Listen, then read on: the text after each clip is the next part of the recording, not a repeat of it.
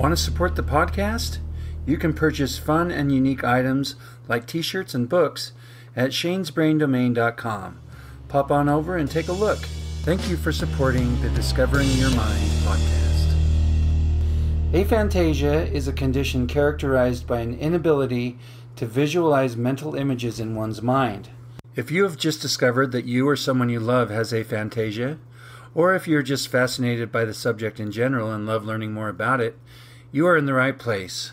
The Discovering Your Mind podcast delves into all aspects of the mind's eye, including aphantasia, hyperphantasia, and everything in between. Welcome to the Discovering Your Mind podcast brought to you by shanesbraindomain.com.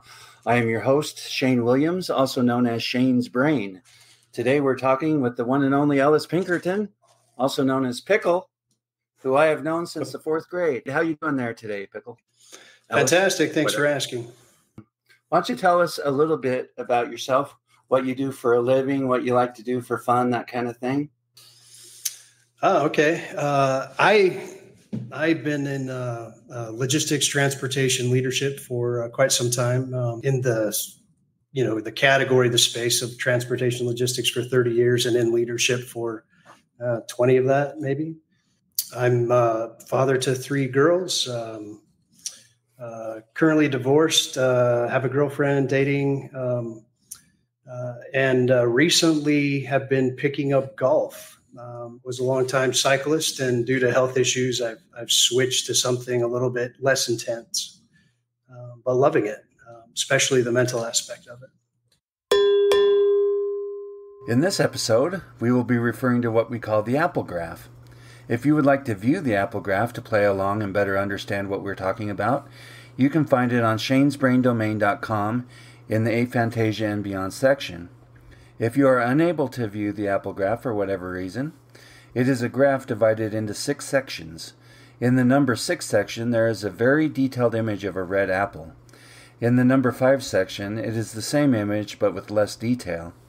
Number 4 is still in color but has less detail and more basic shapes instead of detailed hues and gradients. Number 3 is the less detailed apple but in gray tones without the color. Number 2 is a simple outline of the apple, and number one is blank, indicating no visualization whatsoever. This is called aphantasia. All right. The first thing I'd like you to do is picture a red apple in your mind. Okay. All right. Now take a look at that apple graph that I sent you. Which one of those best represents what you saw in your mind's eye?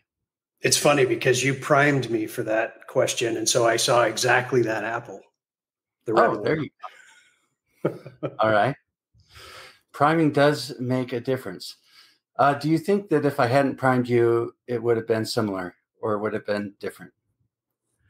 Um, it would have been similar, but but less cartoony. Maybe it would have been a real apple instead of okay. one that that looks like it was produced on a computer.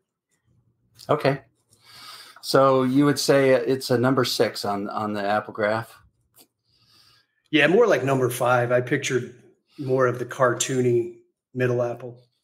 All right, now picture a horse in your mind. Is it like looking at a picture or more of just a thought or something else? This time it was, uh, you know, the first time you asked me that question, it was a real horse um, standing in a pasture. This time it was a painted horse. And uh, now I'm kind of questioning why the difference. Um, you know, when we started going down this aphantasia path, um, everything was was kind of uh, realistic uh, in what I pictured, and now they seem to be more uh, car comic bookish, cartoony. Um, and, I don't know if that's you didn't prime me with a horse picture, but right. um, again, that's where my brain went. So that's interesting. Do you find that has ha- been happening in general, or just right now? Um, I would say recently within the past month. Okay. And can you do you have any explanation for it? Do you have any idea why that might be happening? Probably just what's been going on in in my life. Maybe an environmental thing. Um, I've spent. Uh, it, it feels like half of the month of December being sick. I still kind of sound nasally, but when when I'm sick to that degree, I, I feel like I'm in a different dimension, and I think my brain is still adjusting to come back to reality. And also, too, I've I've noticed that uh, lately, because of what I do for work, uh, there are times where I have to use my brain a lot to create, uh, so to speak. The more times you touch something, the more it costs, the more it uh, is prone to error. And so, engineering something to remove touches is very common. Um, and and so I think that that engages the creative side of my brain more, and and I'm thinking maybe that uh, you know that's where maybe some of the cartoony painting visualization has come in lately, and and it's interesting because I would have never gone down that path or even paid attention to that before our discussion about about aphantasia. All right, still with the horse in mind, is the image more clear with your eyes open or your eyes closed? Mm, same doesn't doesn't change. I think if I, you know, maybe if I made closed my eyes and made a concerted effort to focus and let my brain run uh, and think about it for more than half a second, um, it would probably get more clear and more realistic and more defined. You know, maybe I, should have let off with this too. Is uh, and you and I've discussed this, but um, you know, recently diagnosed with ADHD, and it's something that I've struggled with my whole life, but I never knew what it was. And so for me, most thoughts are, are very quick, and then my brain moves on to the next thing. And so asking me to stop and focus on it, it, it will definitely fill in. Okay. Do you see the horse in your mind, or is it projected out in front of you? I would say in my mind. Okay. Is the image solid or transparent? Solid. Okay. Is it in color or black and white? Color. It's tan. Are the colors vibrant or muted? Uh, more on the muted side. Okay. Uh, Can you describe that a little bit? How how would you explain muted? Best best way that I can explain muted I've been to Italy a couple of times now. Wonderful place, um, ro- most romantic place I've ever been.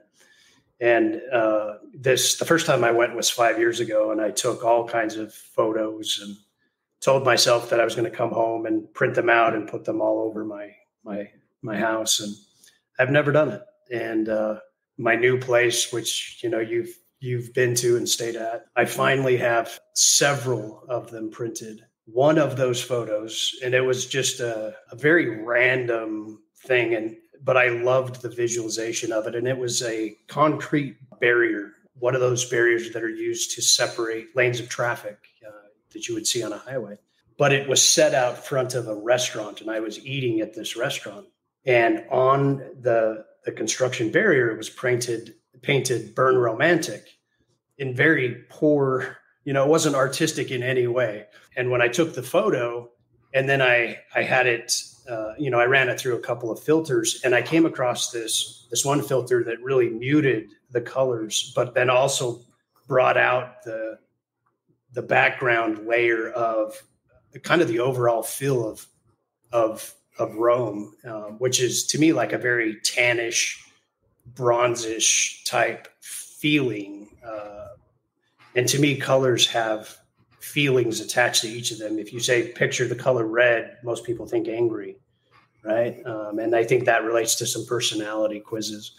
But the, the, the color tan to me is a very calm, uh, serene, uh, romantic type of word. And so now I have that that photo hanging in my bedroom, and and I would say that that is a muted color. There's nothing bright. There's nothing that is glaring. It's just very pleasant and warming and and also still artistic, I would say.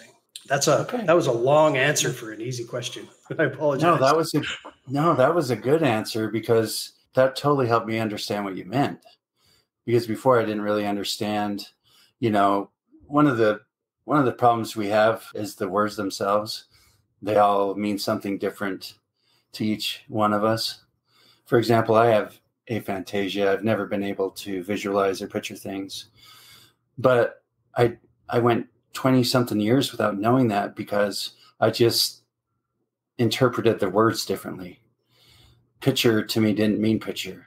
It was a, you know, see it in my mind, all these things, counting sheep. You know, I just all thought they were metaphors and figures of speech. So when you say your muted colors mean to you calm and peaceful, they're not loud or intrusive. They're they're kind of quiet and peaceful, and that's really cool.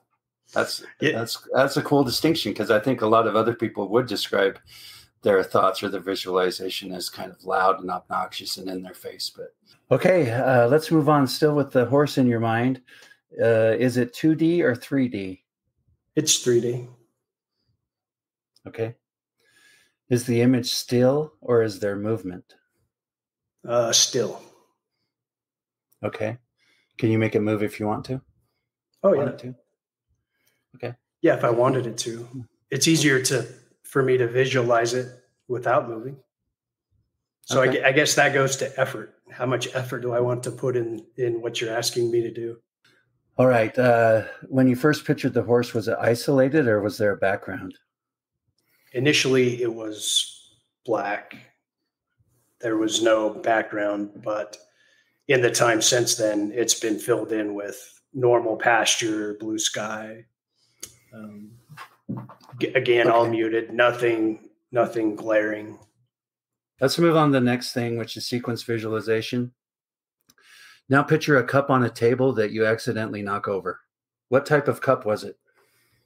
Coffee cup. Filled with coffee. Espresso to be exact. Tastes like what caramel color? too. Okay, okay, we're gonna get there. What color was the cup? White. What type of table was it? Wooden. How did the cup get knocked over? I tipped it with my hand because I wasn't paying attention to what I was doing. When you knocked the cup over, did anything spill out of it? Coffee. Did the sequence appear as a video in your mind or something else? Not as a video, no. It felt like it was in person, like I was had dreamt it or had done it, or and it could be that I was replaying a past experience. Okay. Although I don't recall one specifically, but maybe I had imagined it or or dreamt it. I don't know. Okay. Like I could feel the coffee cup as I tapped it. Did the mental image also have sound? Did you hear it in your mind? No, it didn't have sound. Can you add sound if you want to? Absolutely. But but I would I would say that most of the time, if if you ask me to solve a problem, say say you, hey, this is broken and we need to get it fixed. I'm not hearing anything auditory. I'm too busy visualizing, and adding audio for me is has to have an intention behind it.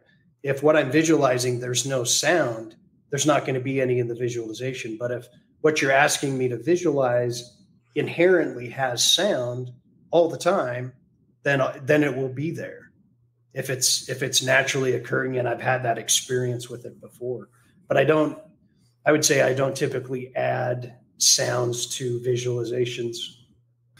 All right, so let's talk some more about mind mind audio. Do you have an inner monologue? All the time. Is it in your voice? Is it in your voice? Well, I don't hear it. I'd say it's, well, that's not true. I do hear it. I would say, yes, it's my voice, but how I think I sound, not how I actually sound.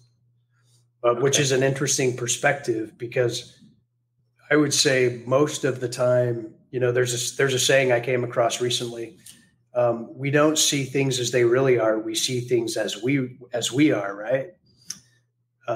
And I'd I'd say that's the same as in visualization or in hearing the inner monologue.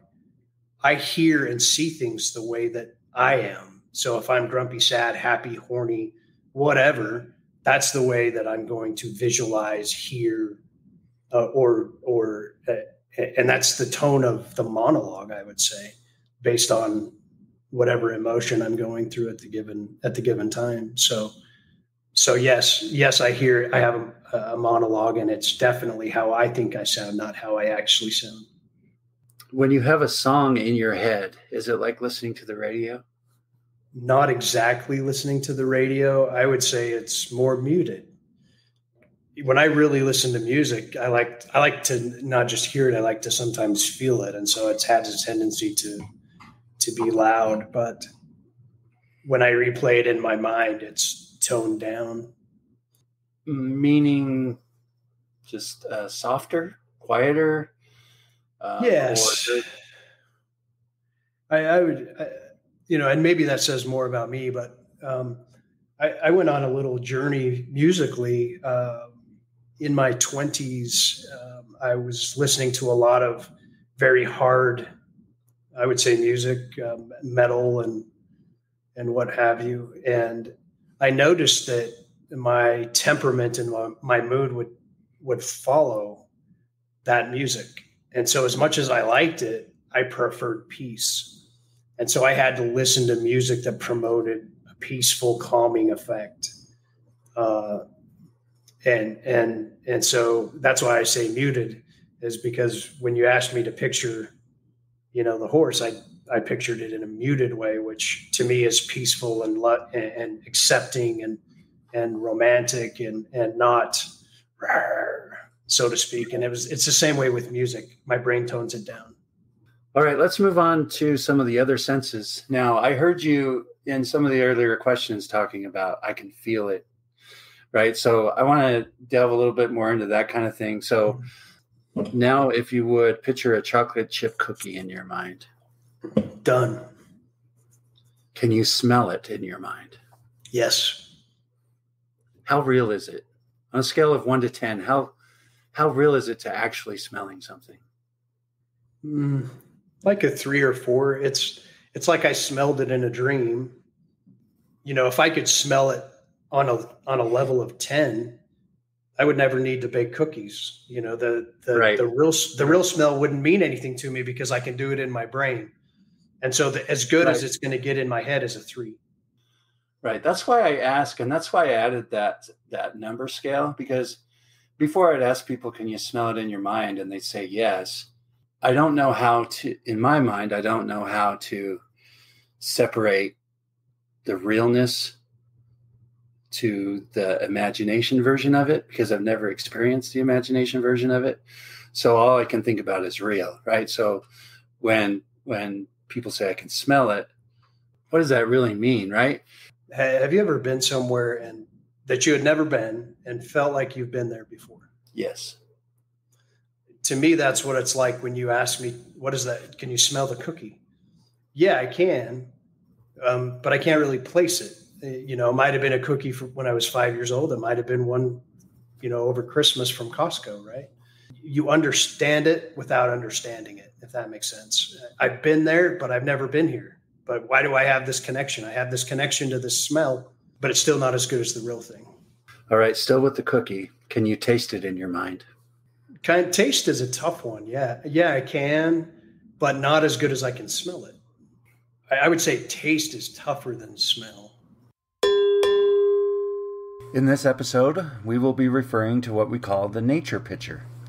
If you would like to view the nature picture, to play along and better understand what we're talking about, you can find it on shanesbraindomain.com in the Aphantasia and Beyond section. If you are unable to take a look at the nature picture, it is a picture of a grove of tall trees with the sun shining brightly through the trees. There is a blue camping chair next to a peaceful flowing river with a campfire nearby. Now I want you to take a look at that uh, nature picture that I sent you. Okay. Can you put yourself in that picture? Oh, yeah. Can you see yourself there? I can see myself sitting in that camp chair. Can you feel the sun on your skin? Mm-hmm. Yes, can you can. hear the river next to you? Yes. Can you smell the campfire? Yes. So if you can go into some more detail about those things. How how close to reality is it? And I know that everybody is a little bit different. I want you to just try and describe each one of those things and what it's like and how close to reality it is. You know, it's interesting. You you've kind of planted this idea of rating things, right?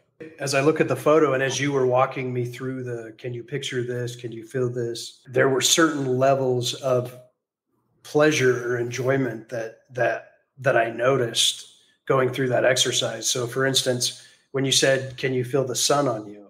and I and I could, that brought the most pleasure. That that felt great uh, going through that vis- visualization. You know, getting getting some vitamin D and feeling the sun on you. You know, um, especially it, I would liken it to the first time you feel the warm sun after going through winter, right?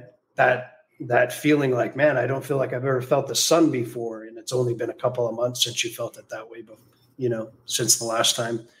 And then number two was listening to the water, um, feeling the sun on my skin, uh, listening to the water. Um, those two things kind of awaken awaken me in in kind of like a mental caffeine. You know, the, yeah, the campfire is great. Yeah, being out in nature is great. You know, maybe I could hear the the sound of the trees and that adds something to it. But the feeling the feeling of the sun and the listening to the water. I, I found as I've gotten older that I, I'm a deeply emotional person and I can attach a feeling to most anything. And so yeah, I've kind of really gone noticed, on this. I really noticed that as we're talking. Yeah. Yeah. Uh, and and I, I don't think I knew that until recently. But but uh, like I mentioned, I can attach a, a, feeling to a color. I can attach a feeling to a, a sound. And I've I've noticed I tend to gravitate obviously to the things that I find comforting and pleasurable. And I like the way you are talking about the the real things because I can relate to those, but I can't relate to having those experiences in my mind. I can't get that experience from that picture. I get nothing from that picture really, other than it's you know it's a nice picture. Even when you in your artwork, even when you create something, you, it, that doesn't generate some type of emotion in you.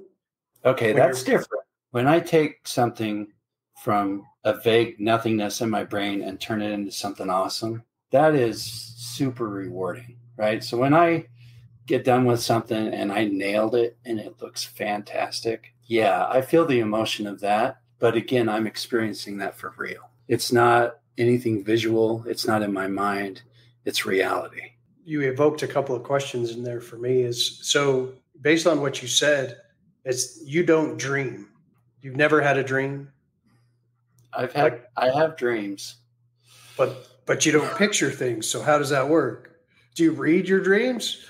Because that okay. to me when I to me when I visualize that's that's I'm almost in that dream state. Um, and and to say that it's it's things are real but they're not real I, because i can manipulate it in just using my mind that tells me that it's not real where in the real world i have to physically move something and do something to manipulate it and so that that kind of and something may feel the way that i didn't anticipate it feeling like if i go to touch something and it's cold and i wasn't thinking when I touch it, it's going to be cold, and I get a it startles me, you know, type of thing. Um, in dreams, I don't find myself being startled like that uh, because I I know when before I touch it, I kind of have that that precognitive decision to oh, it's going to be warm. Honestly, what you just said makes no sense to me. Like I don't even understand what you mean. I've always had dreams, right? I was just like everybody else. Tell you about my dream when I woke up. You know, I had no idea anybody was experiencing anything different. But when I started talking to people about dreams, I realized I don't dream in the same way. It took me a long time to even decide how my dreams were manifesting. Like if if I was seeing pictures or not in my dreams, or if it was more just the way I think, more of a, a thought based um, experience. But either way, there are dreams that feel very real to me while I'm dreaming, even though I can't even put my finger on exactly how they're manifesting. More recently, I've tried really hard to try and identify it. Like as soon as I wake up, think about did you did you see something there? Was there was there color? Was there an image? I've decided that yes, while, while dreaming, it's different than my awake experience. I do get some images and some color. You're a wonderful dancer, she said with a smile, as I shimmied and shuffled and boogied with style. Thank you, I stammered. I appreciate that, but I just need to know where the bathroom is at. All Mixed Up, a motley horde of funny poems, is available on shanesbraindomain.com and Amazon. What do you do to fall asleep? I mean, for example, this is the one place where visual people really get jealous of me because my mind is quiet and dark always. So falling asleep is really easy. Like I don't have to try block anything out. I just lay down, close my eyes, and I'm asleep usually. So I would I would say you're very lucky uh, in in that way. So definitely, this is starting to be more of a superpower. Explain what it's like for you.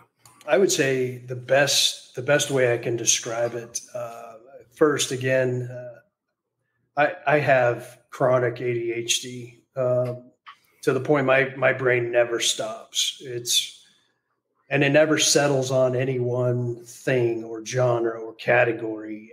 It's constantly bouncing around. And it's always been this way. And I thought this was what I thought this was just normal. I thought everybody's brains work that way. Uh, so for me, a thought will last tenths of a second, but in that tenth of a second, there's emotion, there's regret, there's doubt, there's frustration, there's elation, there are so many things that go along with that thought. Um, so I can have a thought about work, and in that in that tenth of a second, I've done the math for the calculation that's been you know troubling me, and I felt the elation for figuring it out, and I felt the elation for the conversation I'm going to have tomorrow, and my brain's already moved on to the next five things. But that is amazing. The wake, the wake that that thought has left is still I, I, can still filter through it while my brain has moved on and bounced around to other things so as you can ima- imagine trying to quiet that or tone that down or mute it to get to sleep is is a challenge sometimes. So a couple of things. One of the things that i found is constant physical uh, activity for me is is a must. Um, and because i have some health issues that's gotten harder. But i do what i can. I try to uh, I do, you know, even if it's just walking, um, I, I, have to I have to work the physical body through the day so that I'm I'm physically tired. Because if I'm physically tired, I, I typically don't have the energy to supply the brain to for it to go do its nonsense at night. Right? Oh wow, interesting. Um, I also um, I'm careful of the music that I listen to. If I listen to very upbeat, energetic music through the day, it's I have a harder time winding down. Before bedtime, I take magnesium tablets. There's a there's been uh, significant um, scientific links to magnesium and its effect on mood, digestion, and sleep. Uh, and I have found that to be true. Um, and so I take I take magnesium every night before I go to bed. I also take um, L-theanine, uh, which helps induce alpha waves in the brain, which is part of the sleep state and it also makes for some really vivid dreams for those of us on the other end of the spectrum. Um, I don't know what it would do with you. I I kind of want to spike one of your drinks to see what uh, L-theanine would do. If, hey, if we're anything. all about we're all about experimentation on this podcast. We're trying to figure all this stuff out. And, so, then, so you mentioned then, you mentioned vivid. How vivid and detailed are your dreams? Oh, very on a scale of one to 10, using your scale reference again, I, I would say my dreams are either beyond vivid, meaning that in my head, I've created such a place that I often want to go back into the dream because I liked how it felt. Are you um, able to do that? No. Like if you wake up, are you able to go back and experience a dream if you want to? Oh, it depends. In in the morning, no um, once my body decides it's going to wake up, it wakes up and and I'm done for. Even if I'm tired, I can't go back to sleep. But say if I wake up at two o'clock in the morning and I've been dreaming, if I fall back asleep, there are times that my brain will go back to the to the genre or category of that dream, meaning that uh, you know if it was a dream about work, it'll go back to work dreams, but not necessarily that. Or it will replay the same dream, but it doesn't. It's not necessarily a continuation of of where I left off. Um, but they are very vivid. I can feel, I can think, I can, I can, I can see colors. Can you tell you're dreaming? Oh yeah, yeah. I know I'm dreaming. Really? Yeah, I don't. I don't get stuck in the believing that this is that this is real at all. uh, and and that's something that I bring into my conscious visualization. Is it's it's kind of in that, and it might maybe it's the same section of the brain. So it just sounds like you have a much uh, closer relationship with your dreams than I do. I would um, say it's it's it's more of a relationship with my brain. Um, okay. Because I I have the same struggle with my brain when I'm conscious as I do when I'm asleep. Uh, I would say most of my dreams are more pleasant. Uh, well, that's good. Yeah, I know a lot of people struggle with nightmares. Yeah, I I don't know that I've really had a nightmare. I've had some events that have taken place. Like one time, I dreamt I got stabbed, and when the knife was inserted, I just felt something tingly, and I woke up because I've never experienced what that's like. So my my brain couldn't fill in the gap. Right, uh, there wasn't enough imagination there. I would say my relationship with my brain is is one that's contentious, and I think that carries through into into sleep. But I have a better time with it when I'm asleep because I can let it run and it's more imaginative. And um, you know, I have this series of sci-fi dreams. You know, and it's like a Lord of the Rings. You know, there's these characters going on an epic journey that, and there's ghouls and whatever chasing these and it's to me it's entertaining it i don't find it scary at all and i've oftentimes thought i need to write it down and and write a book about it but i have that thought for about two seconds when i'm awake and i get bored with it. So I, have never done it. All right. Uh, how well do you remember your dreams? Not very. Uh, it's it's interesting though uh, if i'm having a dream that replays because i have dreams that often repeat. And and I think it's sometimes those dreams are triggered by something that happens in real life. Uh, and I, as I'm dreaming, it's like, oh, I've seen this one before, or or oh, this one again, right? Really? Um, yeah. In general, when you close your eyes, what do you see? Um, without a prompt, it's just blackness. Can you think of nothing if you want to? Very hard. I, I've been trying to learn to meditate and the process of meditation is thinking of nothing right and and i can't do it without i have to have like a coach in my ear. And so there's a wonderful those there's probably several apps but i have an app on my phone and it's kind of guided meditation. Uh, because like this conversation i need the prompt to think about something specifically. And then slowly they just step down the the thinking into i wouldn't say nothing but a very minimal state of thinking. But I can't do it without prompts. I'm not that good yet. Yeah, I've I've tried to do those things, those uh, guided meditations or guided hypnosis states or whatever. I can't do it. It has no effect on me. But if I just want to sit on the balcony and have no thoughts, I can do that. I can just sit there and have zero thoughts. and I know that a lot of people can't understand that. Yeah. So I cannot relate to just being able to think about nothing. That to me is hard to comprehend. My thoughts are already so distant and vague. They're already so close to nothing that that it's not hard for me to go that little bit extra to the actual like, well, that's kind of annoying. I'll just turn the rest off too. right. Like, like if there's if there's something on my mind, you know, something that's bothering me, it's harder for me to do. But if I'm just nothing's really bothering me, I'm in a peaceful state or whatever, it's it's really easy for me to just go there and just have nothing. Okay, so now I'm convinced it's definitely a superpower because I would I can't do that. The the longest I think my brain can go without thinking of something is probably three seconds, and and I would say that that's one of the the challenges I that I because I am so visual and because I because of the ADHD those two things together, three seconds is about all the peace I ever get, and it has to be forced. I have to force myself to not think of anything, and then the brain says, that ain't that doesn't work for me. How about we how about we start thinking of this thing over here? It doesn't matter. You know, it's not important, but let's think of that thing. Right. Do you tend to visualize things you've already seen before, or do you tend to create new and unique images in your mind? Uh, it depends on the scenario. If there's if there's a visualization that I like that makes me feel a way that I want to feel, I'll repicture the same visualization. If there's something about that visualization that I don't like, it'll it'll be the same visualization altered to edit. Oh. Um, either edit something in or edit something out.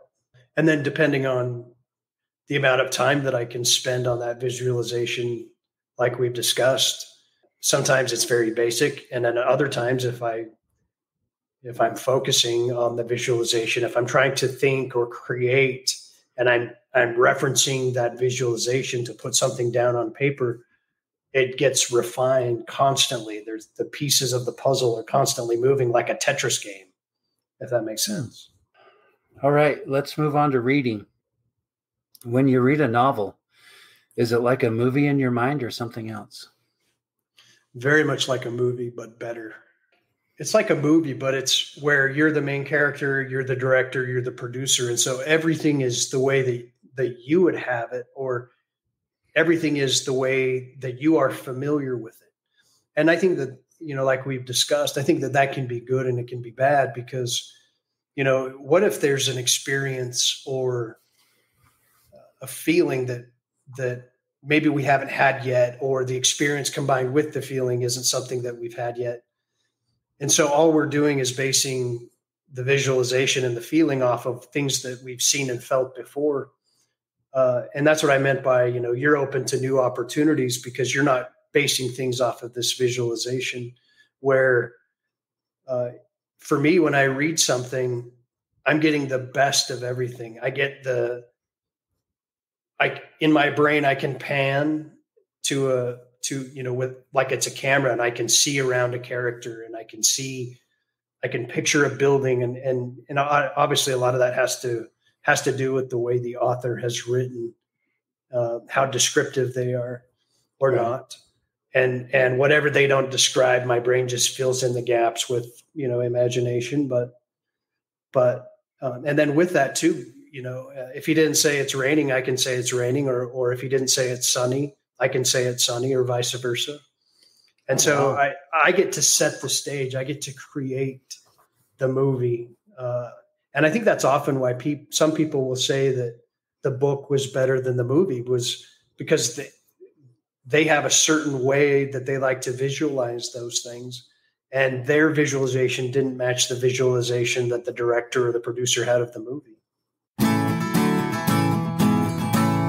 It's time for YouPhantasia, the part of the show that lets you chime in and share your thoughts, insights, and experiences.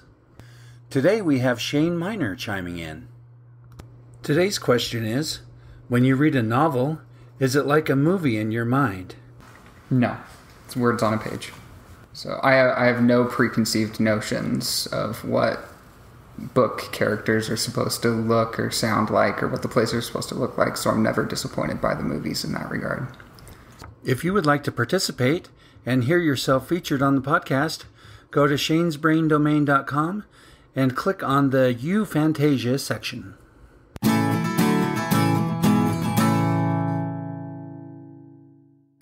What about uh, what about sounds when you're reading? Do you hear the sounds and the voices in your mind? If prompted again typically i'll see the visualization without sound unless unless i need a sound in it.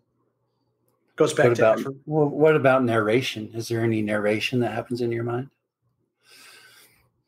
No.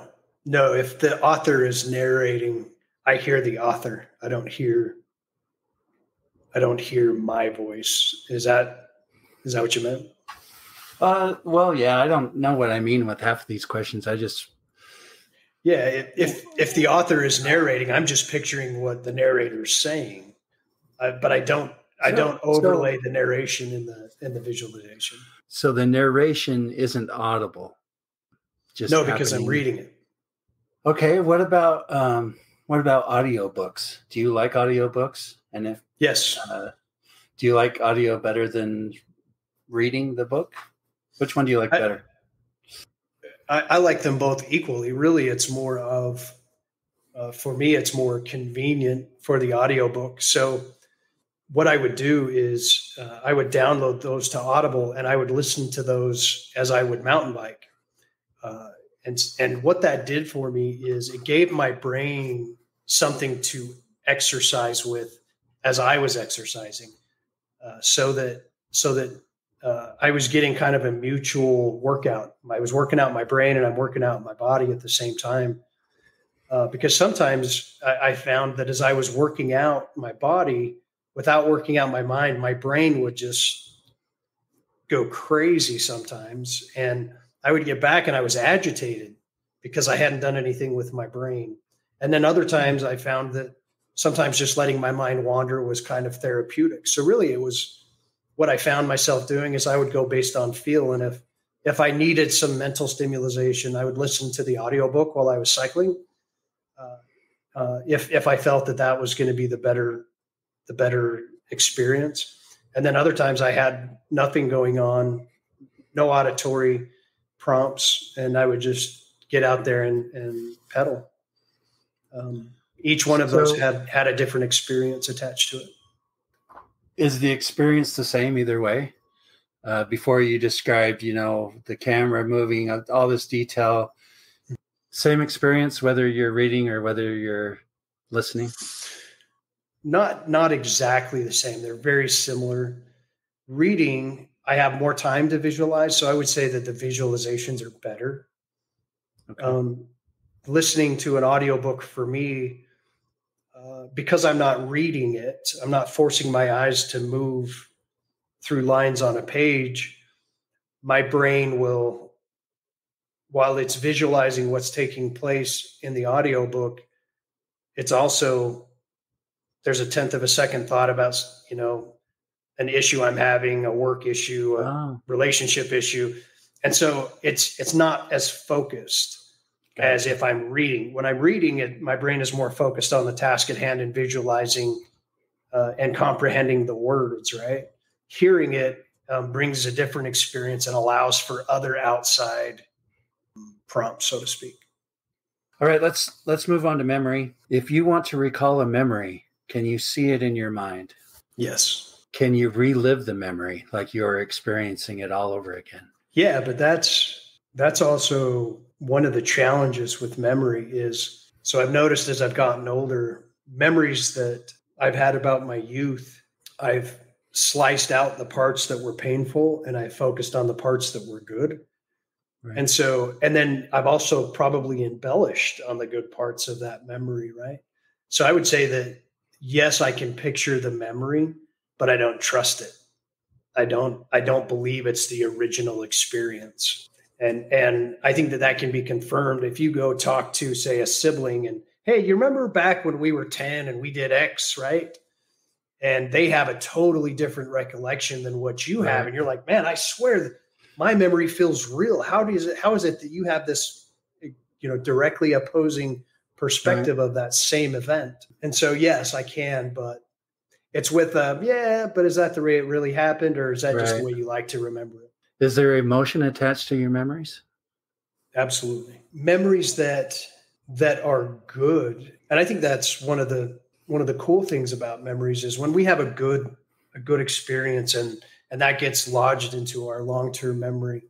For me, along with that memory, gets stored the emotion, the things that I was thinking about at the time, you know, like if you ever go back and look at a photo, and yeah, I can remember when I took that photo. For me, I can remember what I was feeling and what I was thinking as I snapped that photo, or as somebody else snapped that photo of me, right? And then transversely, I think if it's a negative feeling, I've noticed that my brain tends to soften the negativity.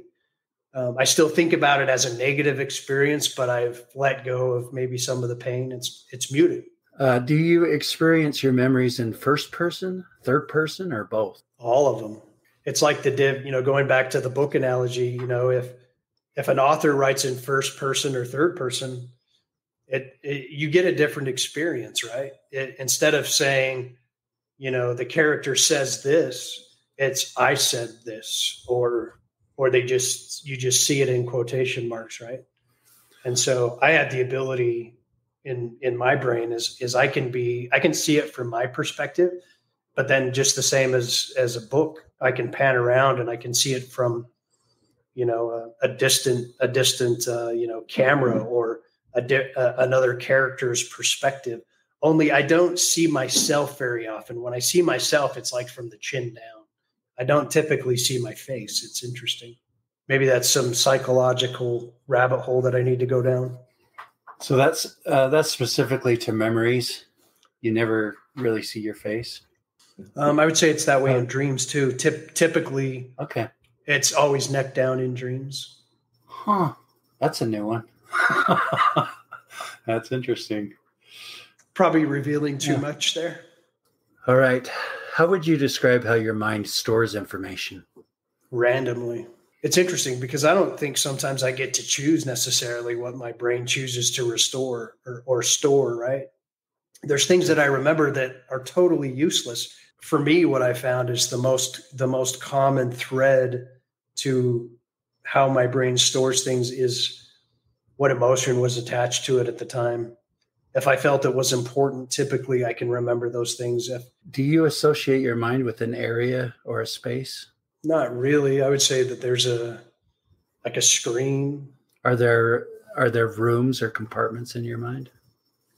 Um, not there can be, but not not as a default setting. As a default setting, it's probably like a big projector screen. Okay. Sometimes there can be multiple screens that would maybe be different rooms or compartments. But for the most part, it's one screen with a lot of random thoughts that just come and go. If you were to try to give a general description of how your mind works and what you see in your mind's eye, how would you describe it? Random, randomly complicated. Have you ever seen a desk with a whole bunch of like papers and books and pens and and I would say that my mind is like that. And sifting through all that is kind of the chore of the day does how you visualize affect how you perform in your career and or hobbies professionally the the visualization certainly helps because as people are talking as we talk about problems or challenges that we need to overcome i can quickly visualize what they're talking about and very very quickly my brain can spin rotate draw diagrams run through scenarios problem shoot redevelop. That didn't work you know trial and error in my brain. Or say say I'm I'm working on on some data and and whether it's inputting data into a database or extracting data out and and taking raw data and making it visual and in my brain I can see all these potential possibilities. And so my brain will run through all these scenarios. And so in my work life I would say that it's it's helped me. It's a large part of, of probably any amount of success that I've gained. Because typically the end visualization, while it doesn't normally resemble that 100% because I've learned to, as I'm going through the process, oh, this will work better, or this will look better, or this will communicate the point better, or this will, the end user will find this uh, easier to deal with. I can run through all of those very, very quickly and start working and work my way toward that end goal, which typically 90% of what I visualized is the end product, right? uh, as far as a process. I would say that, and, and that sounds cool. And, and, you know, I used to think it was a superpower and, and I think to a degree it kind of is, but in my personal life, that has not turned out to be the case. So because of the, the visualization and the planning out conversations and, and jumping to Z and assuming those things have, have kind of got me in hot water. And so uh, you know, as I've gotten older, trying to navigate a, a course between those two and using it um, for good, uh, or making a conscious effort to use to use it for good, uh, has been a journey. And then also in my personal life, reeling it back in and letting things play out and trying to find a path through there that in the past I would have forced because I can see where we need to go and how the conversation needs to end. So let's just force it through and and, and instead uh, you know like i've mentioned navigating through that conversation and letting those things play out and not not uh, trying to control it like i do in my professional life that's been a challenge a journey and and it's also kind of been um, kind of fun to be honest with you you know? That's why i was i was kind of questioning your blank canvas because because you're not trying to work towards something and trying to force some you know round peg in a square hole. I would imagine that uh, not that your mouth hasn't ever gotten you in, into problems but probably less so than mine. Well no because because i don't think before i talk like I I sometimes will crack myself up because I had no idea I was going to say that. yeah, see, I can't even imagine that. Right? The same problem, just in a different way. I will often just be in just total not thought mode, and I'll just talk and goof around and say things, and that can get you into a lot of trouble as well, because when you just say stuff without thinking it often does not come over well to other people. All right. Did you do well in school or did you struggle? It depends on if I liked the class. So I was a, a straight C student in high school. Um, college, college, I'm B plus. You know, anything science related, uh, English classes, uh, anything that any subject that I enjoyed, um, I excelled in most of the time I never did homework. Um, a lot of my grades were based off of tests. Um, so a lot of times I would go to a class, and even if I didn't like the class, I would never do the homework, but I would ace the test, and that's how I how I would get the C. Uh, but if I enjoyed the class, I would sometimes do the homework. Did your visualization play a role? Yeah, like in math, I could visualize the the outcome or the or the process, the steps I needed to take to to find the solution. All right, I'm going to give you a little a little test. Pretend we're in school. Can you spell the word stormy backwards? I'm not good with with reversing words, so no. It's the same as if I was ever asked to to say the ABCs backward. You're a highly visual person. You can you can look at a horse. You can do all this stuff. Why can you not just pull up the word stormy and read it backwards? Yeah, good question. I don't know. I, would have to, yeah, I'd have to go through each letter one by one and picture it backwards. I'm just trying to figure people out because, um, because in my, you know, in my limited understanding of what's happening in your mind, to me that that would be a simple thing to do. You just pull up the word and read it backwards. Yeah, so but, I can do it, but it doesn't stay there. It wants to go back, and maybe okay. that's how I'm wired. It wants to go back to its original structure, and I have to force it. Nope, like like kids, they're like kids, right? You get back to where I wanted you, right? so I can I can see it that way, but a split second later, it's back to its normal order. Ah, uh, okay, all right. What is twenty eight plus forty seven? No idea. all right, you just you just told me that in math you could do it in your mind. Well, I know like I could I could stop and I could visualize how to picture that out, but I, I'm not I'm not a savant. I can't I can't uh, I can't just automatically see the answer in my head. I could stop and add okay, you know, seven plus eight, carry the one, and I would have to stop and think about it. And I could do that, but I don't. I can't see the answers immediately. Not in math but I, I know the steps to take to get there. I, and I visualize the steps. Yeah, and that's why I asked the question. I just want to know what's happening in people's heads. Some some people it just happens very naturally and it's just yeah. there. Where others they gotta work at it. It sounds like you gotta work at it. I definitely have to work at it. In fact, you know, my brain does what you do. Like I don't know, and I don't want to know. Who cares? Well, why why waste our time on that? Yeah, I think so. For me, you know, with all of my issues, I, I would say numbers to me aren't sexy, right? To me, it's it's words and how does this thing work, and and you know, kind of anything related to you know STEM. I can I can picture that and I can recall those things typically very easily. I can recall numbers that I've researched. So so for instance, if I'm doing an analysis on a project, I can recall ratios and uh, you know the important numbers and i can recall those immediately but i couldn't i couldn't get to those numbers without running through the calculation if that makes sense i think it's because i don't find numbers particularly compelling in and of themselves that I don't, I can't, maybe I don't have that ability. Earlier, you were describing how if a problem is presented, you're uh, in a split second, your mind will go through all the different scenarios and stuff like that. If a math problem is part of that problem that you've got to solve, does your brain do a better job at at that point? If it matters more, I guess is what I'm asking. Yeah, and I think I think that's just I don't know that that has anything to do with my abil- ability to visualize or not visualize. I think that has to do more with uh, attention, attention deficit. I think if I because if I stop and think about those things, I can get you the answer.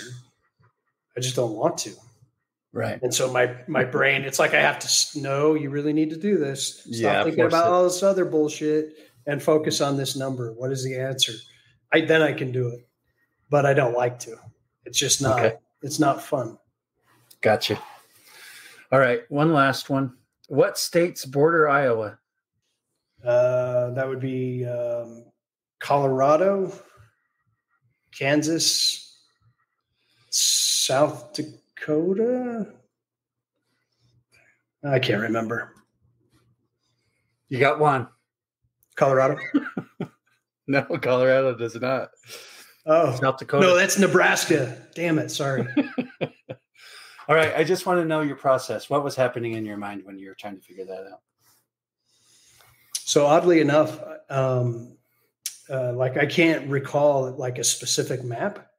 First, my brain goes to, okay, where's it at? And uh, you know, I like I can see the shape of Iowa, but remembering what's around it, um, not so much. If you knew that was going to be on a test, could you study the map and then and then pull that up Yeah. in your mind once you Yeah, studied? yeah. it? If I so if you would have if you would have flashed it up and then asked me, um, even a half an hour later, I could recall it. But Okay. you know, uh, the way we've bounced around the subjects, my brain couldn't couldn't recall the map accurately. Obviously, I was re- I was and I was probably actually visualizing Nebraska and not Iowa. Gotcha. All right. Well, thank you so much uh, for joining me. bet. Have a good one. All right, we'll talk to you later. All right. Bye. See ya. If you like what you hear, please subscribe, follow, and engage with us, and share it with your friends and family as we continue to explore this fascinating subject. For additional information about this episode or Shane's Brain, check out the show notes. Thanks for listening to the Discovering Your Mind podcast. You are beautifully unique.